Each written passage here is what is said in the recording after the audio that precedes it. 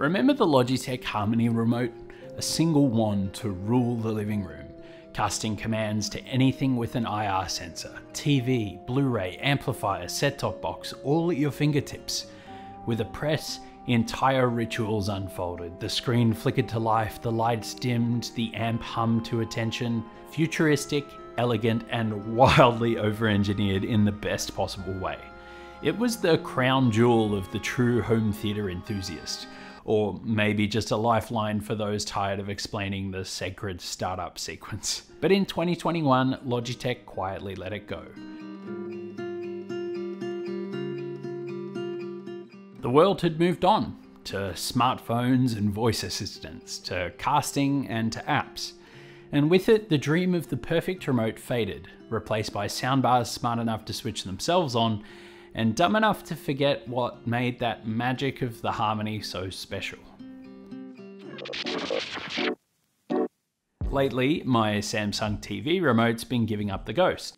The supercapacitors that once seemed super clever now leave me with a dead remote every other day. I thought about replacing the caps or maybe modding in a battery, but where's the fun in that? Instead, I decided to just build a new remote from scratch, because I have a problem.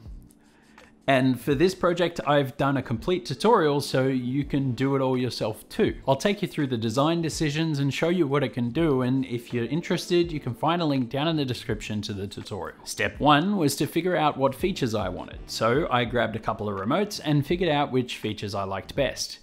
Most modern interfaces require a directional pad of some kind to navigate the UI, so that was non-optional.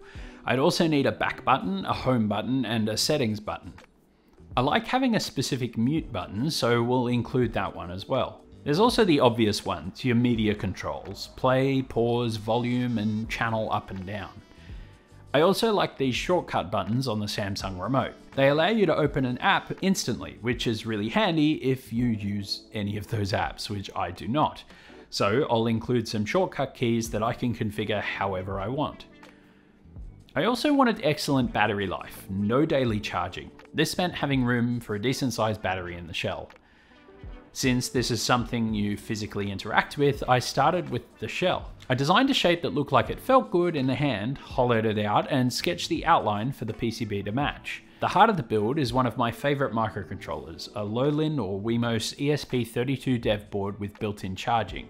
Great for portable projects like this and only a few bucks on AliExpress. I have a bunch in a drawer for projects like this. I sketched out some possible button layouts, played around with some alternate configurations, and decided on what I was going for. I laid out all my tactile switches on the PCB with the eventual button layout in mind, and added a couple of pull-up resistors. The ESP32 has internal pull-up resistors for most pins, which we'll use where possible, but there are a few that don't have internal pull-ups, so we require some external ones for those pins. Once the PCB was laid out and wired, I generated a 3D model of it, imported it back into the enclosure design, and made the buttons. Each button has a flange to keep it in place and is held in place by the pressure between the enclosure lid and the tactile button. I played around with the button sizes and shapes and decided on the layout, then I added icons to each of them. To print these icons on the button, I'll be using multi-material printing. By combining two colors of filament and a tiny nozzle on our printer, we can create quite detailed designs that are printed directly into our parts. Before ordering the final PCB, I printed a few prototypes. For anything handheld, this step isn't optional in my book. You can spend hours in CAD, but until you hold it, you really don't know what it feels like, and it's super easy to lose perspective. A few tweaks later, I had something I was genuinely happy with, so I sent off the order to today's sponsor, PCBWay.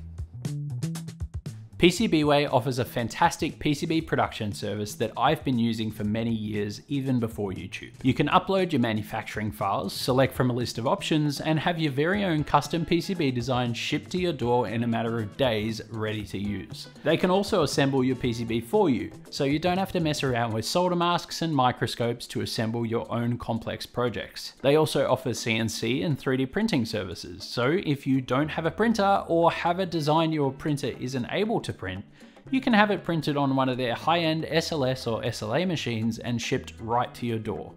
They can do everything from CNC machined aluminium to 3D printed stainless steel, all for reasonable prices and with tight turnaround times. It's the perfect way to expand your own manufacturing and making capabilities without having to spend tens of thousands on tools, machines, and equipment for your home workshop or business. You can prototype your part at home with 3D printing, then send it off to PCBWay for machining. And with the PCBWay community, you can buy designs from other makers direct from PCBWay and support them in the process, including the PCB for this project. Thanks again to PCBWay for sponsoring this video. While waiting for my new PCBs to arrive, I kept iterating on the enclosure. I figured out how the two halves would clip together and refined the USB-C port area for charging. I went with a couple clips near the bottom and two M2 screws near the top to lock it down securely and added internal stiffeners for some strength. A pro tip, for bolt holes with tricky overhangs, I add a one layer roof the printer can bridge. Once printed, you just poke through the thin membrane with your screw no messy supports. After a few days, my PCBs arrived from PCBWay and they look great. You might notice I've gone with all through-hole components for this design and I'll explain why. These days, most consumer electronics use surface mount components wherever possible. There's a few reasons for this. They're smaller, cheaper, and most importantly, much easier for robots to place and solder in. Unfortunately, they are quite difficult for humans to solder, especially when compared with what's called through-hole components. As the name suggests, through-hole components physically poke through a hole in the PCB and you solder them onto the board on the reverse side, holding them in place. This is worlds easier to do by hand, even if it's a little bit of an older technique. The whole project is designed so you can do it yourself at home. If you have a 3D printer, a soldering iron, and a few hours, you can print the enclosure, assemble the PCB, and program the microcontroller yourself, even with no experience. I've done a whole full-length tutorial you can follow, you'll find the link down in the description. You can get your own PCB from PCBWay, and all the components for only a few dollars. It's a really great introduction to the world of electronics and is a truly useful end result, which I find much more interesting than a lot of alternatives. I'm using ESP Home to run this remote for easy compatibility with Home Assistant.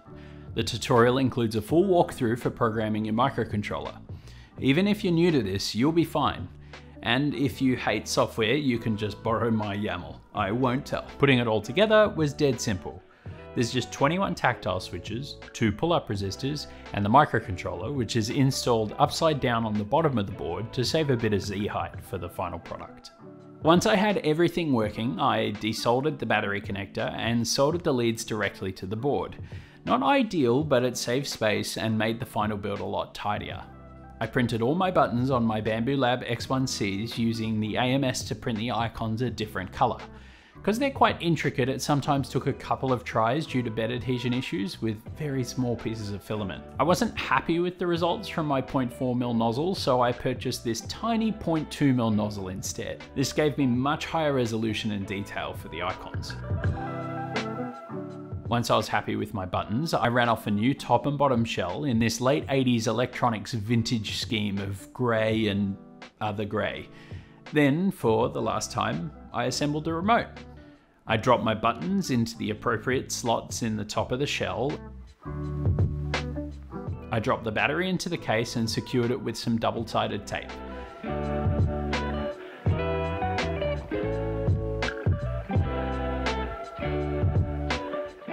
Then I installed the PCB and screwed it in over top of the battery.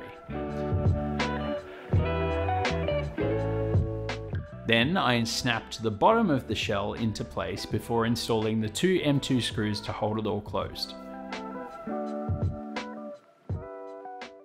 And here it is, my everything remote.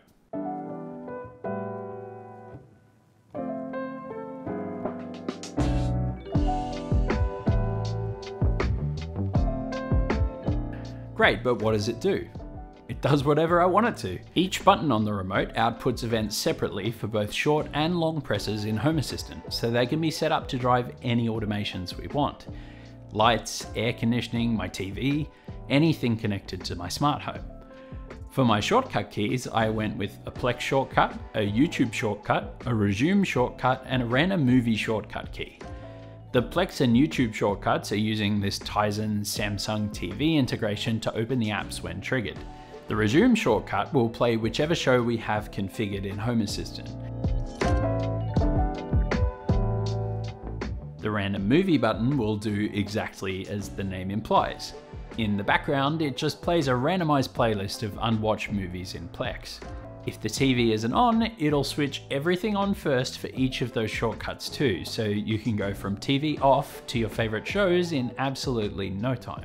The buttons at the bottom will increase or decrease the brightness of the lights in the room with each button press. Holding up will go full brightness, holding down will turn them off entirely. With BLE presence detecting, I could even make the remote context aware, different rooms, different automations. The potential here is huge. You could make a simplified version for an older family member who can never find the Netflix app, or a kid-safe version that won't let the volume get too high and only allows them to play pre-approved shows. I've provided the step files for a blank version of the remote faceplate, complete with a simplified PCB so you can design your own buttons for whatever application you might think up. You can also just use my buttons and add your own icons. The tutorial video includes a guide on doing this yourself in your slicer. This has become a handy addition to our smart home. It's really nice to be rid of that failing Samsung remote and the stupid shortcut buttons we only ever hit by accident. I even find myself using a spare remote to test other automations in a convenient handheld form factor. As we add more smart features to our home, I'm sure it'll become even more useful as we find more applications for it. Now, does it do everything the old Harmony remote does? Well, as long as you can get your device into Home Assistant somehow, yes. There are limitations, it doesn't have an IR emitter so it won't work with your old infrared components. But the nice thing about this is it's nowhere near as limited as the Logitech Harmony was. You can control a lot more than just your home theater. It's entirely up to what you're willing to put the time into. I hope you liked this video. This was a really fun project to put together and I hope some of you are able to put this together yourself and find your own unique layouts and uses for it. If you have any ideas for alternative uses, leave them down in the comments. I'd love to hear about them and how you might find it helpful in your home. Thanks heaps for watching, and if you'd like to build one of these for yourself, it's a fantastic first foray into the world of electronics and microcontrollers. Plus, if you already have a printer and all the tools, it'll only cost you 20 or 30 bucks to do this project yourself. All the links are in the description of the video or on the website. I'll catch you next time.